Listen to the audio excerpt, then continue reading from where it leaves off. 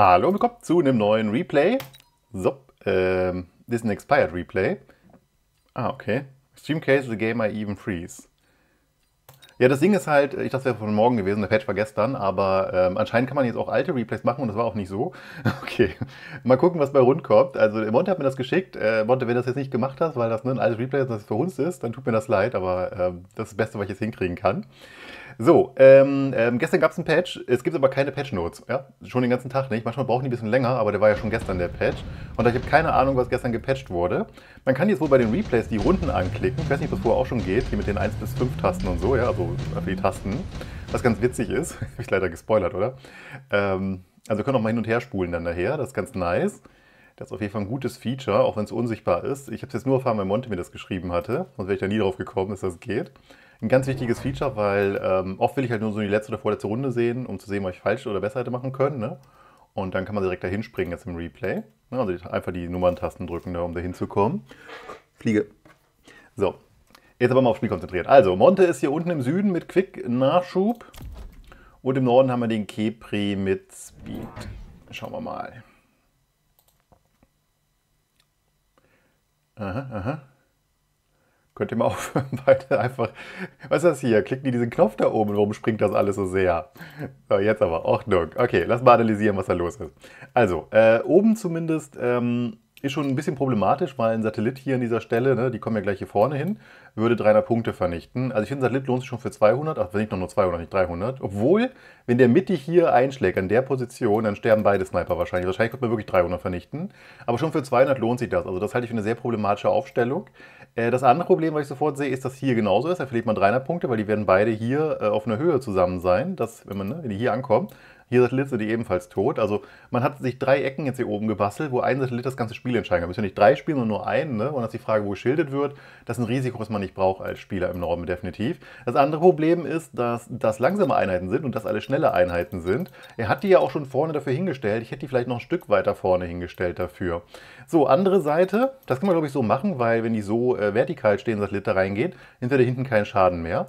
Das ist halt einer der Vorteile davon. Das ist ein gutes Meat Shield, kann man sicher machen. Die verlieren sowieso den Kampf gegen die Crawler, egal wie die stehen. Und da ist das, glaube ich, ganz solide. Äh, die könnten auch ein Stück weit zu vorne stehen, weil, ne, also meine Erfahrung ist, dass die doch, die sind ja relativ schnell, das ist alles relativ langsam, ne? Ähm, und wenn die dann sterben hier vorne, dann haben die die Distanz zwischen diesen, diesen beiden hier, ne? Also vielleicht sieht man so besser. Ähm, da, genau. Also jetzt kann ich nicht mehr ziehen, okay. Die Distanz zwischen den beiden, die wird ja dadurch verkürzt, dass der ja quasi noch ein Stück aufholt jetzt am Anfang. Ne? Das heißt, wenn die sterben, dann steht der unnötig weit vorne. Und das wollt ihr in aller Regel nicht. Ich hätte weiter hinten hingestellt. In den meisten Fällen ist das ja sowieso so, dass ihr die nur braucht, um große Ziele zu bekämpfen. Und dass keiner, der klar bei Verstand ist, große Ziele in erster Linie stellt, ist ja auch klar. Von daher standen die weiter vorne mit dem erhöhten Risiko nur und ausschließlich, um einen Crawler zu snipen, was natürlich den Geldwert nicht wert ist. Ne? So, jetzt hat das hier super funktioniert, weil die halt alle zusammengekommen sind in der Mitte. ja? Und natürlich die äh, Phoenix, die einen Großteil des Wertes ja ausmachen, gegen dieser Meter oben eigentlich gar keinen Sinn macht. Das, klar, das ist jetzt Anfangsaufstellung, kann ja nichts für, ne? aber das ist der Grund, warum man das jetzt äh, auf die Fresse bekommen hat. Hat jetzt, glaube ich, nichts mit der Aufstellung zu tun. Da kann man einfach nicht viel machen mit. Ne? So, jetzt habe ich gar nicht darauf geachtet, ob Monte eben gekauft hat. Ich glaube, er hat sogar einen Phoenix eben gekauft, was sehr komisch war, wenn wir denken, dass der Gegner mit Kleinvieh angefangen hatte und Marksman. Weil Kleinvieh und Marksman sind beides in Kombination die Hardcounter zu Phoenix. Ich glaube, er hat eben einen zweiten Phoenix gekauft oder den Panzer gekauft. Ich habe nicht genau hingeguckt, er hat den Panzer gekauft, der hier unten ist, ne? Den Sledgehammer. Er hat wahrscheinlich Modelltank-Spam gemacht. Aber er wollte strategisch spielen, vermute ich mal. So, nächste Runde. Äh, frühes Upgrade mit Marksman und den hier habe ich lange nicht mehr gesehen. Das ist ja inzwischen so teuer, dass keiner mehr spielen will. Und da kommt jetzt der Fang-Spam raus. Ähm, ja, kann man machen, muss man nicht machen. Ich halte es für zu früh, weil es die Flexibilität rausnimmt. Ne? Die Frage ist halt vielleicht, wer die Phoenix besiegt oder die Panzer. Und die besiegen die Panzer nicht so gut, dann hätte man auch Range oder irgendwas anderes ausgeben können. Also das ist zu festgenagelt früh. Äh, Wespenspawn ist immer gut, ne? da lenkt man die Gegner mit ab und alles. Für 50 Punkte kann man in der Regel zweimal eine Westenspawn für ein ganzes Spiel holen und dann, äh, also nicht selten entscheidet der ein Spiel, für 50 genau wie der Crawler Spawn oder so, ne? Also das finde ich einfach brutal stark, diese Fähigkeit. Diese Spawn-Dinger mit Crawler und Wespen, da gibt es eigentlich fast nie einen Weg dran vorbei, sollte man immer nehmen, ja, immer, finde ich persönlich. Da gibt es fast nie eine Ausnahme zu, zu der Regel. Bei den anderen Spawns, mit dem Schlachtschiff und den Vulken und den Rhino, das ist ein bisschen trickier.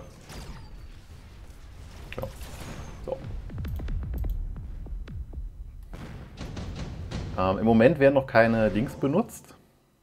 Sights, Range.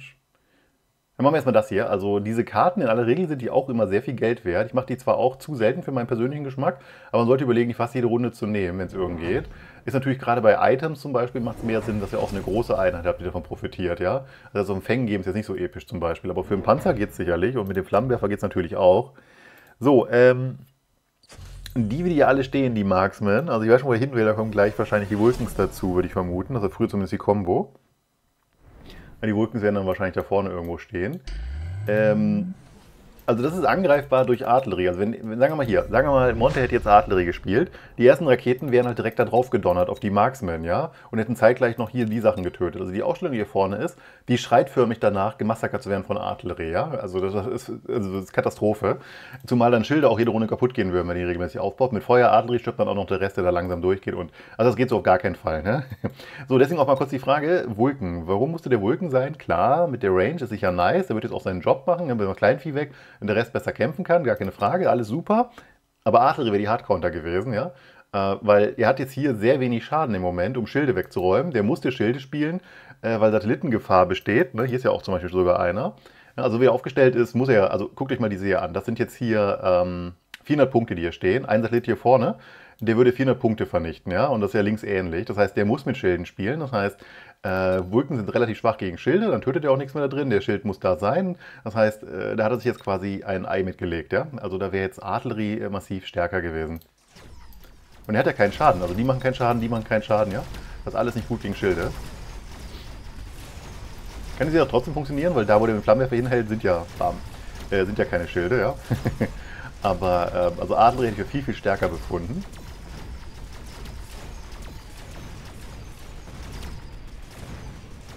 Ja, die kleinen Fangs sind noch einfach alle mitgestorben. Also das, auch das war das falsche Upgrade mit Sicherheit.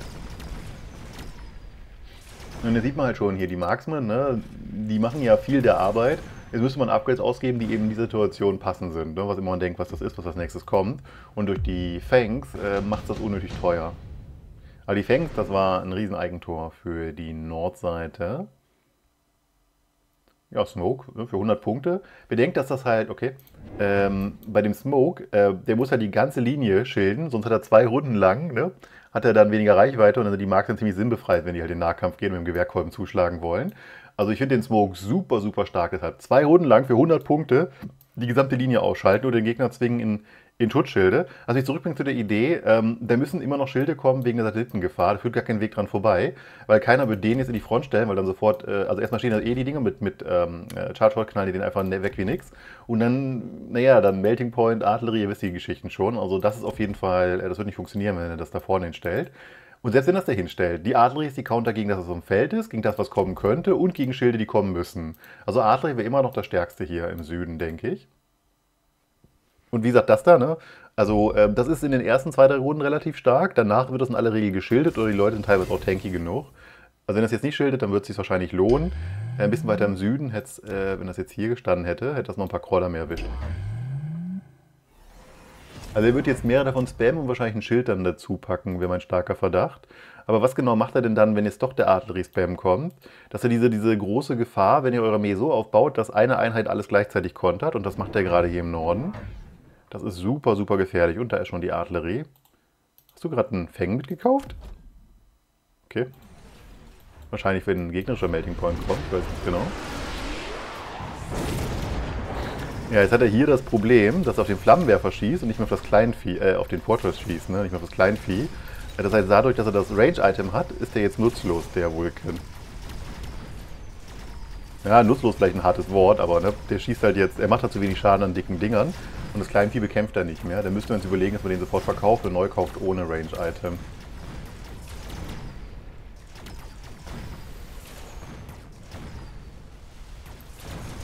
Action. Also ich halte es immer für sehr gefährlich auf jeden Fall, wenn man einen ähm, Giant in erster Linie aufstellt oder zumindest ganz an die Front stellt. Und das ist völlig egal, welcher Giant das ist, das ist immer gefährlich. Immer, ohne Ausnahme. Früher oder später wird das halt gekontert und das halt nicht so, als ob jemand, sagen wir mal, einen 200er Crawler, äh, für 200 Punkte zwei Crawler kontert, sondern äh, das ist halt ein Giant. Ja? Da ist ein Item drauf, der hat vielleicht ein Level, da war der Freischaltkosten drin. Also das ist sehr, sehr gefährlich, solche Geschichten. wie gesagt, also hier, das Item sabotiert sich gerade selber und der kann ja davon ausgehen, also ich habe es ja eben selber angesagt, ist ja, ist ja kein Rocket Science jetzt, dass der die nur holt, wofür auch sonst, um, um Schilde auszugeben, ne? weil er den Schutz braucht. Von daher kann man den jetzt getrost verkaufen, den Kamerad hier vorne. Einfach Artillerie spammen und go-go. Die Panzer räumen ja genug weg von dem Zeug da oben, ne? Und er hat ja eigentlich förmlich nichts, was jetzt die Dinger wegräumt, außer vielleicht der, der hinten und der überlebt die Artillerieschüsse ja nicht. Also ich würde den Vulkan verkaufen. Warum hast du denn jetzt einen Fortress geholt? Also willst du denn mit dem Freund? Okay. Will das jetzt auch schilden, vermute ich mal. Hier ganz kurz, Flankenschutz. Weder Satelliten noch nichts. Also ab Runde 5 sollte man da ein Auge drauf haben, wenn nur ein Satellit hingeht. Das würde ich für beide Seiten eigentlich sagen.